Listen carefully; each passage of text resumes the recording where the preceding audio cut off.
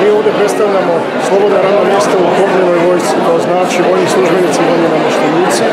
Imamo upražnjena mjesta i stalno otvoren konkurs za profesionalne vojnike i imamo slobodna radna mjesta posebno u tehničkom remontnom zavodu Čača, također za vojni službenike i vojni Građani su pokazali izuzetno interesovanje, imamo dosta većih prijava za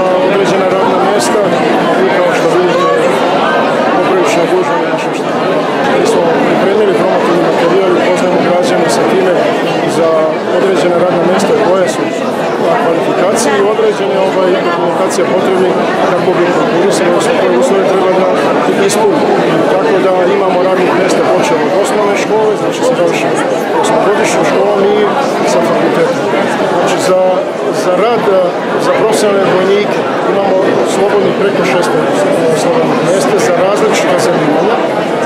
Što se tiče vojnih službenika, vojnih namještenika imamo 45